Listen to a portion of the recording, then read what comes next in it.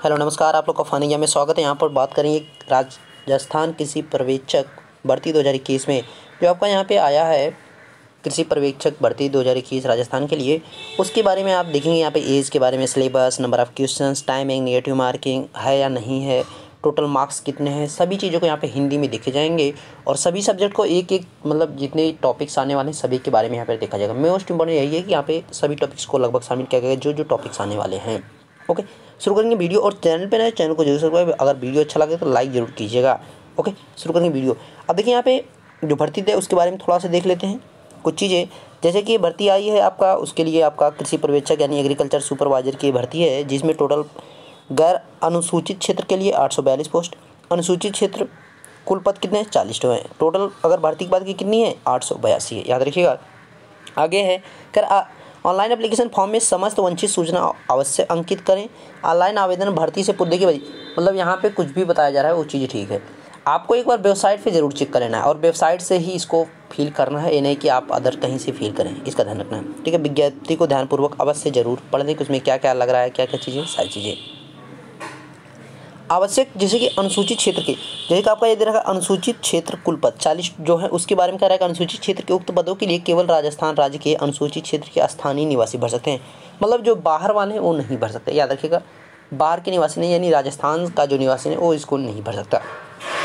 आगे देखिए, वैकल्पिक, यानी एमसीक्यू टाइप का होगा, वैकल्पिक, यानी बहुविकल्प यहाँ पे प्रश्न सभी रहेंगे। अधिकतम पूर्णांक, यानी तीन सौ अंकों का होगा। क्वेश्चन जो है कितने होंगे? सौ होंगे, यानी एक क्वेश्चन जो है आपका कितने नंबर का? तीन नंबर का। पेपर की समय जो कितना रहेगा? दो घंटे में, यानी आपका 120 मिनट में 100 क्वेश्चन करने हैं। प्रत्येक प्रश्न के तीन हैं मतलब प्रश्न, प्रत्येक जो प्रश्न होगा उसके इतने तीन अंक हैं, और अगर गलत अंक की बात की जाए, कितना काटा जाएगा? वन बाई थर्ड, यानी काटा जाएगा। याद रखिएगा। नेक्स्ट है, आयु की गणना कब की जाएगी? एक जनवरी दो बाईस के आधार पर की। मतलब यहाँ पर आपका अट्ठारह न्यूनतम अट्ठारह दे रखा है। मतलब एक जनवरी 2022 से पहले तक आपकी आयु क्या हो जानी चाहिए? हो जानी चाहिए अट्ठारह वर्ष। और अधिकतम की बात करें चालीस वर्ष आपका होना चाहिए। यहाँ पे 2021 रहेगा। ओके 2021 आवेदन कब से शुरू हो रहा है सत्रह फरवरी से शुरू हो रहा है और अंतिम तिथि जो है, सोलह मार्च आपकी दे रखी है। इधर देखिए आगे। अब पाठ्यक्रम मोस्ट इंपॉर्टेंट जो चीज़ है, सबसे बड़ी बात, जिसके लिए वीडियो बनाया जा रहा है, सिलेबस के बारे में। तो सिलेबस यहाँ पे आपका समान हिंदी से कितने क्वेश्चन आएँगे? पंद्रह। तीन अंक आपका है तो पंद्रह पैंतालीस हो गया। राजस्थान के ही बारे में देखिए, राजस्थान का समान ज्ञान, राजस्थान इतिहास, भूगोल एवं संस्कृति के बारे में पूछा। हाँ वहाँ से चीज़ें रिलेट करके, जैसे कि अब महाराणा प्रताप वहाँ के हैं तो उनसे जो है रिलेटेड युद्ध आपका इतिहास में जाके पूछ सकते हैं, भाई उनका जो हल्दी घाटी का युद्ध कब हुआ, कहाँ पे हुआ? उस समय शासक दिल्ली में मतलब इस प्रकार से वो चीज़ें रिलेट करके पूछ सकता है। इसका ध्यान रखिएगा। तो यहाँ पे राजस्थान से जो है स्पेशल कितना आएगा? ट्वेंटी फाइव सेवेंटी फाइव हो जाएगा। सस्य विज्ञान आपका, बीस क्वेश्चन साठ नंबर उदयन की आपका कितना? बीस और साठ यहाँ पे? बीस और साठ। टोटल सौ क्वेश्चन तीन सौ आपके मार्क्स हो गए। अब वन बाई वन यानी समान, हिंदी, राजस्थान, सस्य विज्ञान, उद्यान की, पशुपालन, सभी चीज़ों को यहाँ पर देखा जाएगा। देखिए, समान, हिंदी की बात की जाए, इसमें क्या क्या आएगा? पर्यावाची, क्रिया विशेषण, अनेक शब्दों के लिए, यानी एक शब्द जो होता है, संज्ञा, सर्वनाम, विशेषण, विलोम शब्द, संधि, समास, रसायक, छंद, अलंकार, विलोम, उपसर्ग व प्रत्यय वाक्यों का अनुवाद, शब्दावली और व्याकरण। देखिए, व्याकरण इसमें लिया जो भी चीज़ें अगर मतलब बच रही हैं, सभी चीज़ें मतलब व्याकरण, हिंदी व्याकरण की अगर बात की जाए तो यहाँ पे हिंदी व्याकरण पूरा आपका दिया जाएगा। राजस्थान कृषि, फार्म मशीनरी और प्रोटेस्ट हार्वेस्ट संस्करण, कृषि और कृषि के सिद्धांत आपका दिया जाएगा।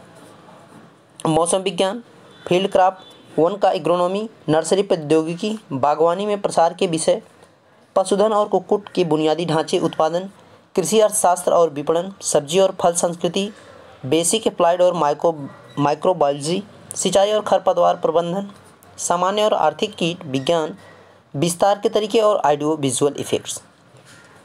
पादप रोग विज्ञान, फ़सल कीट, उनके प्रबंधन, फ़सल कीट और उनके प्रबंधन, मृदा पोषण प्रबंधन, फ़ील्ड फ़सलों का प्रश्न ये सब आपका किसमें था? राजस्थान कृषि में। नेक्स्ट है हार्टिकल्चर। बागवानी के बारे में देखेंगे।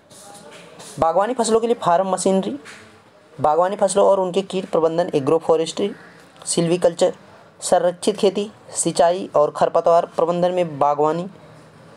यहाँ पे बाढ़ प्रसार बाढ़ प्रसार रहेगा, ठीक? बागवानी प्रसार अभ्यास, यानी जो आप अभ्यास करते उसका। पौधों की सुरक्षा में मूल बातें, मसाला फल उत्पादन तकनीकी, सब्ज़ी फल उत्पादन तकनीकी, पोस्ट हार्वेस्ट, हैंडलिंग और मूल तत्व बागवानी।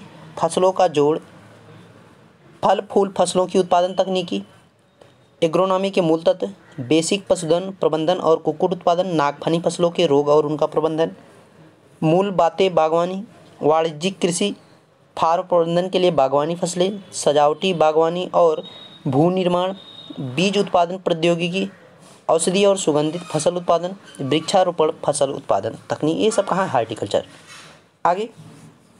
पशुपालन में physiology of reproduction and lactation मांस उत्पादन, पशु अनुवांशिकी और प्रजनन, पशु पोषण पशुधन की अन्य प्रजातियाँ, जैसे भेड़, बकरी, सुअर, खरगोश, पशु स्वास्थ्य, चारा उत्पादन, डेयरी उत्पादन, डेयरी प्रबंधन और अर्थ। अब देखिए यहाँ पे अगर कोई टॉपिक आपसे छूट जा रहा है मतलब यहाँ पे मेरे से छूट जा रहा है तो उसको जो है आप ऐड कर लीजिए, क्योंकि मतलब सभी टॉपिक्स हो भी नहीं पाएँगे, लेकिन कोशिश पूरी की कि जितने भी टॉपिक्स हैं सभी को शामिल किया जाएगा जो जो आने वाले हैं ओके केवल मोस्ट इंपॉर्टेंट जो टॉपिक्स हैं, उन्हीं को शामिल किया गया है। बाकी जो है, आपके अगर कोई छूट रहा है तो उसको आप पढ़ सकते हैं।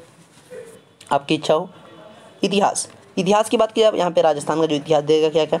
राजस्थान इतिहास, प्रमुख राजवंश, प्रशासनिक राजस्व प्रणाली एग्रीकल्चर से तो राजस्व प्रणाली पक्का पूछा जाएगा।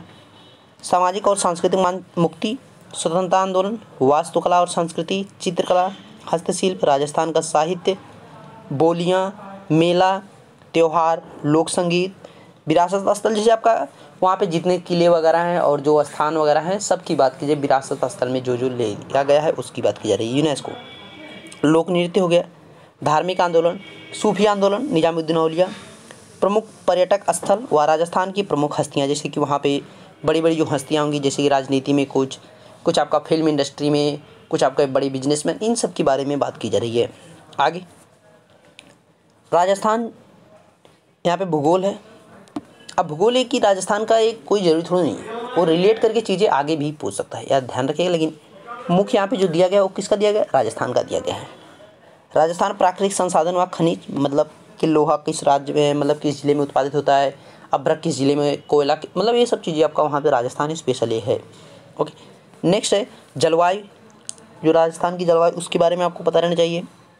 वनस्पति, वन और वन्य जीव अभ्यारण्य जो वहाँ पे, जितने वन्य जीव अभ्यारण्य, वो सब जैव विविधता बायोडाइवर्सिटी की बात की जा रही है। जैसे कि आपका वहाँ पे जो भी वन्य जीव अभ्यारण्य है और बायोडाइवर्सिटी के अंतर्गत जो है आते हैं आपका रामसर साइट जिनको कहा जाता है।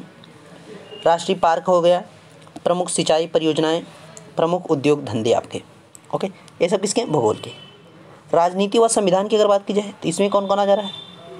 राज्यपाल आ जाएगा, मुख्यमंत्री आ जाएगा, राज्य विधानसभा आ जाएगी, उच्च न्यायालय आ जाएगा, यानी हाईकोर्ट राज्य लोक सेवा आयोग, जिला प्रशासन, राज्य मानवाधिकार आयोग, राज्य चुनाव आयोग, राज्य सूचना आयोग, कानूनी अधिकार आयोग। और यहाँ पे आपको पंचायती राज भी पढ़ लीजिएगा। पंचायती राज भी आप पढ़ लीजिएगा। ओके। अर्थव्यवस्था की बात की, अर्थव्यवस्था में भी कुछ चीज़ें पढ़नी आपको अर्थव्यवस्था में आपका माइक्रो बायोलॉजी होता है माइक्रो आपका अर्थव्यवस्था होता है, माइक्रो इकोनॉमिक्स, उसको पढ़ लीजिएगा। कृषि उद्योग है, कृषि उद्योग धंधे आपका आ जाता है। सेवा क्षेत्र जैसे आपको तीन क्षेत्र बनाया गया है यहाँ पे आपका प्राइमरी है सेकेंडरी एंड टर्सरी उसको पढ़ दीजिएगा। वृद्धि आपका इंक्रीजिंग वगैरह जो होती है, जैसे जीडीपी आपका आ गया, ये सब जो है, इसमें आ जाएँगे। वृद्धि में जीएसटी हो गया, विकास हो गया, आपका डेवलपमेंट हो गया, योजनाएँ जो हैं, सरकारी हों, केंद्रीय हो, जो भी हैं, आपका राज्य स्तरीय सभी योजनाएँ। देखिए S C S T O B C अल्पसंख्यक जो आयोग बनाए जाते हैं, उनके बारे में देख लीजिए मतलब अनुच्छेद किसमें दिया गया, सारी चीज़ें आपको देख कर जाना है। तो इतना ही छोटा सा, नहीं, इसको बड़ा सा कहा जाएगा, सिलेबस है, इसको आपको अच्छे से देख लेना है। और बाकी चीज़ें इसी के अनुसार आपको तैयार कर लेना है। अगर आपको लगता है कुछ और अतिरिक्त पढ़ना है तो उसको भी आप पढ़ सकते हैं, लेकिन मेरे हिसाब से जो सिलेबस वहाँ पे दिया गया, उसके हिसाब से यही चीज़ें हैं जो आपके एग्ज़ाम में पूछी जाएँगी। ओके? मिलेंगे। वीडियो अच्छा लगा हो तो देख, चैनल को लाइक कीजिएगा और यहाँ पे बेल आइकन को प्रेस कीजिएगा ताकि आपके पास लेटेस्ट वीडियो पहुँच सके। मिलेंगे नेक्स्ट वीडियो तब तक देखते रहिए। फानिया बेतासी सर, थैंक यू।